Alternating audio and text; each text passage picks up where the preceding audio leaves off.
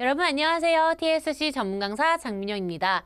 오늘은 저와 함께 3부분을 배워보는 첫 번째 시간인데요. 저희 3부분의 첫 번째 시간인 만큼 같이 한번 3부분에 대해서 먼저 공부를 해본 다음에 우리 재앙 관련된 문제를 풀어보도록 하겠습니다. 자, 저희 3부분은 여러분 총 문제수가 다섯 문제입니다. 이 부분보다 한 문제가 더 늘어났, 늘어났죠. 근데 준비 시간은 1초 더 줄어든 2초이고요. 답변 시간은 15초입니다. 저희가 여러분 TSC가 총 전체 합산을 이루어져 평가를 하기 때문에요. 어, 가장 쉬운 파트인 이 부분, 3부분에서는 저희가 최대한 초수를 다 채워서 대답을 해서 높은 점수를 받으셔야 평균 5급 이상이 나올 수 있겠습니다. 우리 12, 15초라는 시간 안에 저희가 적어도 10초 이상은 대답할 수 있도록 목표를 삼아 보도록 할게요. 자, 그 다음 보시겠습니다. 시험 진행 순서 말씀드릴게요. 첫 번째는 이 부분과 마찬가지로 파트 소개가 나옵니다. 그 다음에 그림이 제시가 되고, 그 다음에 이제 음성이 들린 다음에 준비 시간 주어지고 답변 시간 주어지는 순서로 진행이 됩니다.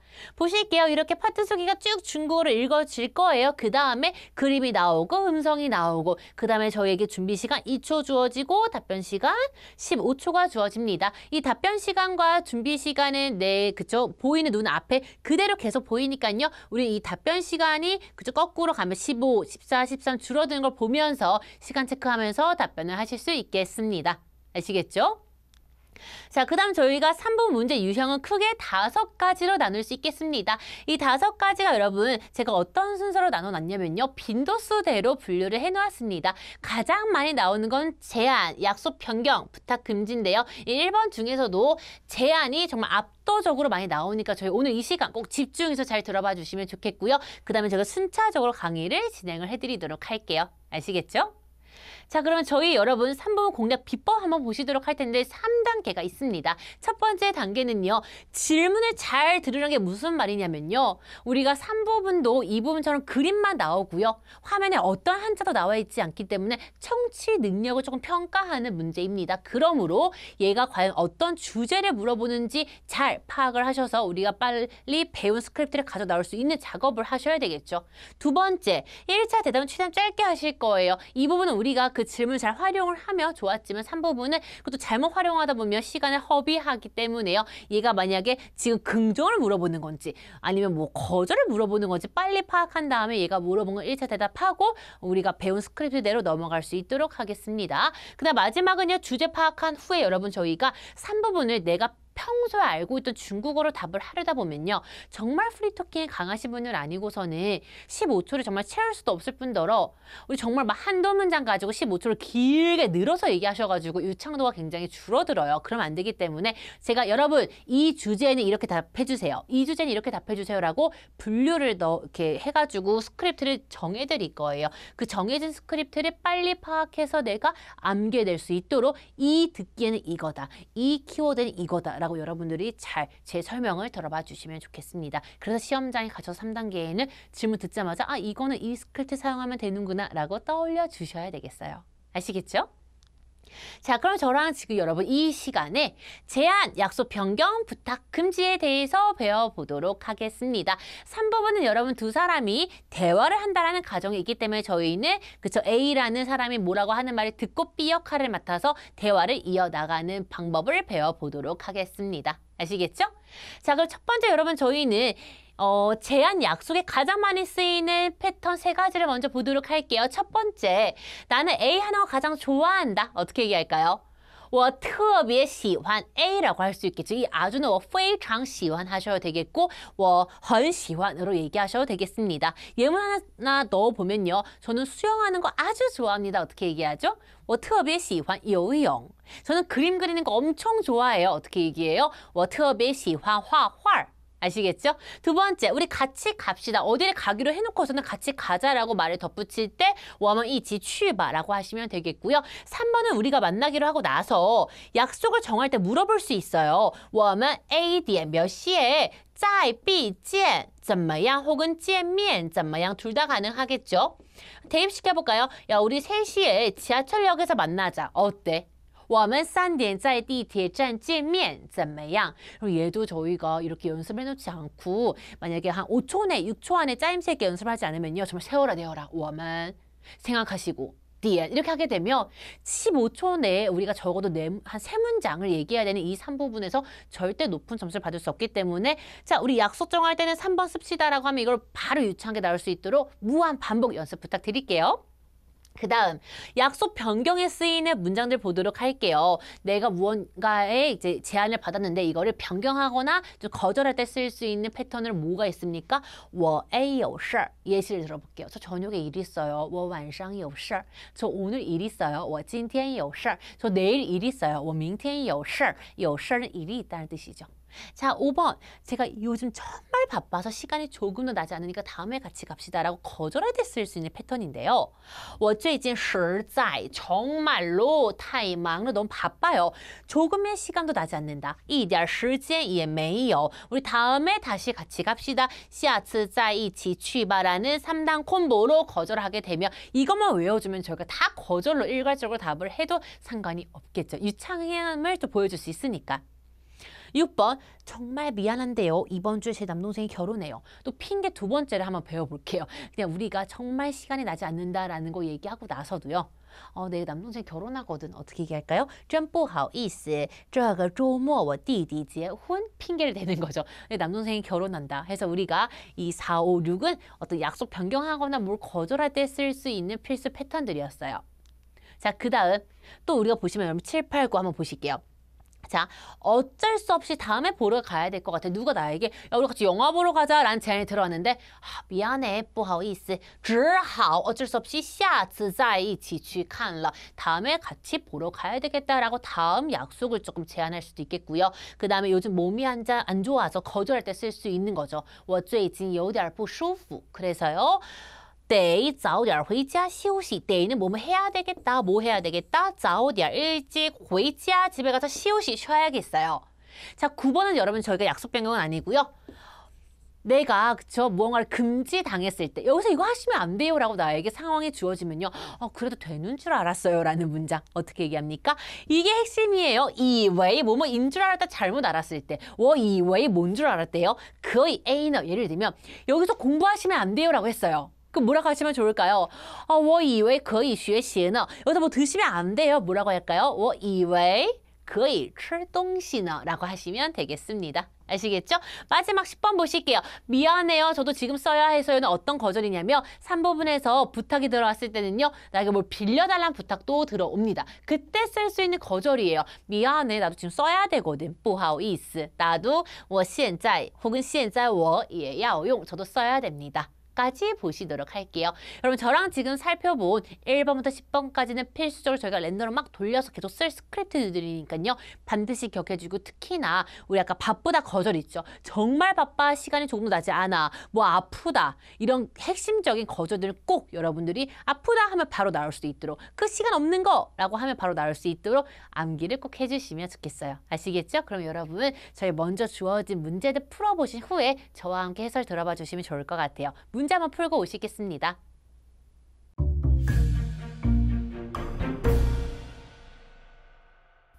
여러분 문제 잘 풀어보셨나요? 자, 저희 한번 그림 보실게요, 여러분. 근데 저희가 이 그림은 별 의미가 없는 게 예전 3부분 같은 경우는요. 그림만 봐, 이제 보면 이 부분과 마찬가지로 어떤 문제다라는 게 대충 나왔어요. 근데 요즘 추세 트렌드는 뭐냐면요. 그냥 정말 두 사람이 테이블에 나란히 앉아 있어서 대화를 나눠요. 혹은요, 우리가 그냥 커피 가게, 그저 카페에 가서 두 살 마주보고 앉아있거나 쇼핑을 제외한 모든 카테고리는 저희가 과연 이게 무슨 말을 하는지를 알아낼 수 없는 그림들이 너무 추상적으로 그냥 앉아있는 그림만 나오기 때문에 3부분의 가장 중요한 능력으로 청취 능력이 평가가 됩니다. 그래서 우리가 과연 이 문제 잘 알아들으셨는지 보도록 할게요. 첫 번째, 今天下课后我们一起去 뭐하러 가자? 打网球怎么样? 근데 여러분 저희가 선생님 저는요 5급을 너무 따고 싶은데 이게 듣기가 잘 안 들려요. 어떻게 하면 좋을까요, 여러분? 단기간에 잘 알아낼 수 있는 방법은요. 포인트가 있어요. 단순 제안을 물어보는 그쵸 질문에는 반드시 이 지취가 들어가요. 우리 함께 뭘 하러 가자. 뒤에 걸 잘 못 알아들었더라도 어쨌든 간에 이 지취 에이츠 모양 듣는 순간 제안이구나라고 보실 수가 있겠고요. 이게 단순 제안은 여러분 실제로 나오냐 정말 자주 나와요. 요즘에도 나오고 있고요. 뭐 영화 보러 가자, 등산하러 가자, 같이 공부하러 가자, 같이 놀러 가자. 보통 1번, 2번 에 많이 나오는 문제입니다. 한번 보실까요? 답은? 답은 크게 두 가지로 나눌 수가 있어요. 저희가 우선 다 펼쳐놓고 볼게요. 자, 첫 번째는 우리가 긍정, 그 말인 즉슨 수락을 하는 그쵸? 답변과 혹은 거절이 있겠습니다. 여러분 제가 이렇게 얘기할 수 있어요. 여러분 좀 다양하게 답변해보고 싶다 하시는 분들은 둘 다 보시면 좋겠고 저 급해요 선생님. 저 빨리 따야 돼 하시는 분들은 그냥 답변 2번만 보세요. 그냥 一起去 들리는 순간 무조건 거절해 주시면 좋겠어요. 아시겠죠? 자, 그러면 두 가지 다 동시에 보도록 할게요. 자, 같이 무언을 하러 가자란 제안에 긍정을 하실 분들은 어떻게 리액션 하자? 好的라고 신호를 하셔야 신호를 주셔야 돼요. 우리 아까 그 공략 비법 중에서 그쵸 뭐라고 했었죠? 1차 대답은 간단하게 리액션 해주세요. how 더 좋아요. 자, 그 다음에 여러분 내가 뭘 하러 가자는 제안이 들어와서 좋아요 한 다음에 그 다음에 순서는 그걸 매우 좋아한다라고 우리가 부연 설명해 주도록 할게요. 아까 우리 패턴에서 배웠어요. 我特别喜欢打网球. 테니스 치는 거 진짜 좋아해요. 그 다음에 순서가 뭐냐면 여러분 약속 시간 잡아주세요. 시간은 여러분 지금 저희 하나 외워두시면 이렇게 돌려 쓰시면 돼요. 자, 我们下课后몇 시에 어디서 만나자 아까 문영에서 봤어요. 下课后5点在学校门口见怎么样? 아시겠습니까? 앞으로 누가 야 A 하러 가자라고 하면 어떤 패턴으로 좋아 그 다음에 나 그거 되게 좋아해. 그 다음은요. 언제 어디에서 만나자까지가 긍정 스크립트고요. 두 번째 거절 한번 보실까요? 怎么办? 어떡하지? 我最近实在太忙了. 우리 아까 외웠던 거 있죠? 봤던 거 패턴에서. 거절할 때 정말 정말 바빠. 조금의 모도 없대요. 一点时间也没有. 그래서 뭐 하자? 我们下次再一起去吧. 해서 여러분 우리가 답을 두 가지로 다시 한번 정리해 드릴게요. 우리가 같이 등산 가자, 영화 보자, 공부하자, 뭘 하자라는 제안이 들어왔을 때 이치 취 A바라는 걸 듣자마자 긍정하실 분들은 how the reaction 그 다음은요. 워트업이 시환 A 그 다음은요 뭡니까? 아 우리 언제 어디서 만나자 이게 너무 헷갈리시면 이것만 여러 가지 바꿔서 얘기를 해보시면 좋을 것 같아요 아시겠죠? 그 다음에 어, 선생님 저 긍정은요 좀 되게 시간 바꿔야 되고 힘들 것 같아 하시면 뭐 하자? 거절하시면 돼요 좀 아빠 어떡하지? 난 뭐가 없다. 어, 我最近实在太忙了. 너무 바빠서. 그래서 一点时间也没有.我们下次再一起去吧. 라고 하나 외워두셔서 돌려맞게 하시면 되겠습니다. 아시겠죠? 자, 그러면 저희가 이번 1번의 기본 제한 문제 우리가 답안 알려드린 거 다시 한번 음성을 들어보시면서 정리하고 오실게요. 아시겠죠? 음성 들어보시겠습니다, 여러분. 问题一：今天下课后。 我们一起去打网球，怎么样？回答一：好的，我特别喜欢打网球。我们下课后五点在学校门口见，怎么样？回答二：怎么办？我最近实在太忙了，一点时间也没有。我们下次再一起去吧。 자, 잘 풀어보셨죠, 여러분? 잘 들어보셨죠? 자, 그럼 저희가 두 번째 문제 보도록 하겠습니다. 자, 여러분 이것도 저희 의리, 그림에 별 의미 두지 않을게요. 한번 듣기 바로 보실까요? 我们改天 여러분 이 문제가 나왔을 때 정말 많은 분들이 어려워하셨어요. 改天은 뭡니까? 다른 날이에요. 我们改天再去看电影吧 이 문제는 방금 저희가 풀어봤던 1번 문제보다 빈도수가 조금 낮지만 가끔 가다가 나와요. 한 다섯 번에 한 번? 우리 글을 잘풀 수 있어야 되겠죠. 다른 날 다시 뭐 하자 혹은요 다른 날 만나도 되겠니? 라는 문제가 나오면 여러분 우리가 첫 번째 우선은 좀 이제 들어줄게요. 그래, 하오더. 우리가 그래, 괜찮아, 좋아, 하오더라고 해주시고요. 나도 마침 그날 일이 있었다라는 식으로 좀 덜 미안하게 만들어줄게요. 正好 마침 我也얘는 뒤에 나도 今天有事 여러분 아까 우리 배웠죠. 일 있다, 有事 그래서 여러분 우리는 다른 날 다시 뭐하러 가자. 我们改天再去看电影吧라고 해서요. 우리 다른 날 다시 보자라고 해서 이렇게 세 마디를 완성할 수 있는 게 첫 번째 답안이고요. 두 번째 답안은 여러분 저희가 조금 더 걱정해 줄게요. 你有什么事儿吗? 무슨 일 있어요? 누가 다른 날 보자 그러면 무슨 일 있어라고 먼저 걱정부터 해주시고 그 다음에 没办法 방법이 없지 只好 어쩔 수 없이 下次再 다음에 다시 뭘 하러 가자 下次再去看电影吧 只好下次再그 다음에 여러분 저희가요 또 새로운 약속 시간 잡아주는 거예요. 那我们下周去看 다음 주에 보러 가는 거怎么样? 어떠냐? 그래서 여러분 저희가 같은 맥락이긴 한데요. 우리가 이왕이면 두 번째 대답으로 양을 좀 채워주시면 좋을 것 같아요. 아시겠죠? 어, 우리가 5급 플러스니까 5급만 받으실 분들은 많지 않을 것 같은데 우리가 6급까지도 도전하고 계시다 하시는 분들은 여러분 우리 두 번째 대답을 도전해 보시면 좋겠습니다. 아시겠죠? 우리가 방금 저랑 해석한 그 내용들 다시 한번 숙지해 보시면서 음성 들어 보실게요, 여러분. 아시겠죠? 음성 듣고 오시겠습니다. 问题二： 我们改天再去看电影吧。回答一：好的，正好我也今天有事儿，我们改天再去看电影吧。回答二：你有什么事儿吗？没办法，只好下次再去看电影了。那我们下周去看怎么样？ 잘 들어보셨죠? 우리 세 번째 같이 한번 보시도록 할게요. 자, 세 번째도 마찬가지로 여러분 책상에 나란히 앉아 있어요. 우리 여러분 3번은 방금 뭐라고 말씀드렸죠? 절대 그림으로 추측할 수가 없습니다. 듣기 잘 들으셔야 돼요. 아까 3번 문제 잘 들으셨나요? 어떤 질문이었죠? 你能借我一下你的铅笔吗? 우리가 여러분 3부분에서요. 부탁 문제가 가끔 나와요. 우리 아까 1번 문제가 빈도수가 별 5개 중에 5개 만점이라면요. 아까 2번은 한 3개, 얘도 한 3개 정도 자주 나오진 않지만 가끔 나오니까 우리 알고 갈게요. 你能借我一下?借 보이자마자 빌려줄 수 있겠냐? 你能吗? 가능하냐? 뭐를요? 借我一下 무엇을? 你的铅笔吗? 누군가가 저의 A를 빌려달래요. 여러분 여기서 이 치엔비는요. 뭐로 지원 가능할까요? 비지번, 电脑, 뭐, 自行车 다양한 명사가 바뀔 수 있겠습니다. 이런 문제에 어떻게 답을 하면 좋겠냐면 여러분 된다고 할게요. 그쵸? 착하게. 当然可以. 당연히 되지. 我这儿有很多铅笔. 여러분 저희가 예를 들면 뭐 노트북 많다라고 하세요. 실제 상황에서 노트북 많이 갖고 있는 사람 없겠지만 여러분 우리가 지금 얘는 말하기 시험이지 그쵸? 뭐 논리 시험, 에세이가 아니기 때문에요. 나 노트북 많다라고 하셔도 돼요. 我这儿有很多笔记本电脑.我这儿有很多书.我这儿有很多铅笔. 그 다음은요. 给你 줄게. 이렇게 3단 콤보로 완성할 수 있는 게 답변 1이고요. 조금 더 확장시켜 볼까요? 우리가 거절할 수도 있겠죠. 不好意思. 我只有一支铅笔,现在我也要用.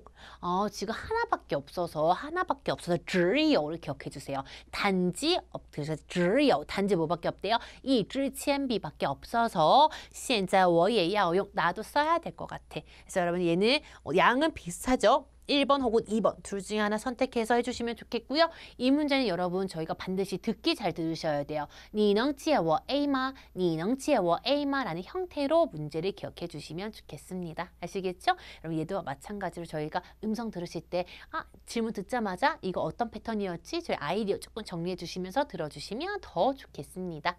음성 듣고 오실게요, 여러분. 问题三： 你能借我一下你的铅笔吗？回答一：当然可以，我这儿有很多铅笔，给你。回答二：不好意思，我只有一支铅笔，现在我也要用。 잘 듣고 오셨나요? 저희 그다음 마지막 문제 살펴보도록 할게요. 자, 4번. 얘는 여러분 조금 그쵸? 조금 더 명확한 그림이 나와 있네요. 주차장이 있고요. 과연 무슨 대화를 나누는 그림이었을까요? 기억나세요? 아, 不好意思,这儿不能停车. 아까 저희가 그 네 가지 주제를 배운다고 오늘 말씀드렸는데, 그쵸? 여기서 뭐였어요, 여러분? 어, 안 된다. 여기서 안 된다. 그쵸? 저희가 불가능하다라는 문제를 배워보도록 할 텐데, 어, 여기서 보통 주차를 못한다. 혹은 뭐 사진 찍을 수 없다. 무언가를 할 수 없다라는, 그쵸? 저희가 허락을 조금 받는 문제들이 많이 나오는데요. 얘도 마찬가지 4번에 있으니까 제가 뭐 많이 나온다고 한 거는 취소고 가끔 나와요. 가끔. 얘가 아까 별표 5개 만점에 나머지 것들이 5개, 3개였다면 얘는 2개 정도 나온다고 보시면 되겠습니다. 별표 2개짜리예요. 한번 보실게요. 자, 不好意思,这儿不能停车 라고 했을 경우에 그러면 여러분 저희가 말할 수 있는 게 뭐냐면 어, 对不起,请问 在哪儿可以 A 呢? 그럼 어디에 A를 할 수 있는지 물어볼 수 있겠죠. 그 다음에 这儿附近哪儿有停车场? 여기에 어디에 주차장이 있는지 물어볼 수 있겠습니다. 아시겠나요? 저희가 예를 들면 누가 담배 피고 있는데 여기서 담배 피시면 안 돼요라는 질문이 나왔더라도 어, 对不起,请问在哪儿可以抽烟呢? 그쵸? 그다음에 저희가 这儿附近哪儿有吸烟区, 뭐 흡연 구역이 어디 있는지라고 물어볼 수 있겠습니다. 자, 혹은 저희가 是吗? 진짜요? 여러분 저희 그래요란 리액션이죠. 不好意思, 죄송합니다. 아까 제가 배웠던 패턴. 뭐뭐도 되는 줄 알았어요. 以为,我以为 그, 어, 这儿可以停车呢. 주차가 되는 줄 알았습니다. 我马上就开走. 바로 그저 이동할게요. 차 몰고 가겠습니다. 까지 답변해 주시면 되겠습니다. 아시겠나요, 여러분? 또 마지막 문제 음성 듣고 오신 후에 저희 총 정리해 드리도록 할게요. 음성 들어보시고 오실게요. 问题四，不好意思，这儿不能停车。回答一：对不起， 请问在哪儿可以停车呢？这儿附近哪儿有停车场？回答二：是吗？不好意思，我以为这儿可以停车呢。我马上就开走。 자, 잘 듣고 오셨나요? 자, 여러분 지금 오늘 저와 첫 번째 3부분에 대해서 간략하게 소개 좀 해드렸고요. 어, 제한, 약속 변경, 부탁, 금지를 한번 배워봤습니다. 여러분 저희가 이 네 가지 중에서 가장 중요한 걸 꼽으라면 제한, 그쵸? 우리가 같이 뭐 할래?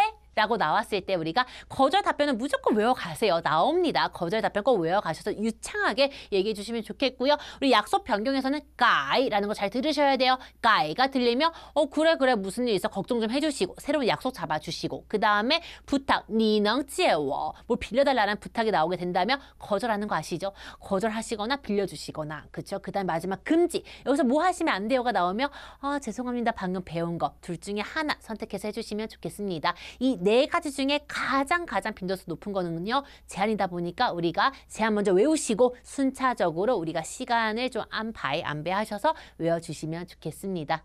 3부분 여러분 저희가 3부분 범위가 결코 넓지 않아요. 나온 것만 계속 나오니까 여러분 겁내지 마시고 우리 앞으로 순차적으로 같이 공부를 해 나가도록 할게요. 오늘 배우신 거 반드시 2부로 연습해 주시고요. 저희는 다음 시간에 찾아뵙도록 하겠습니다. 자, 이지엔.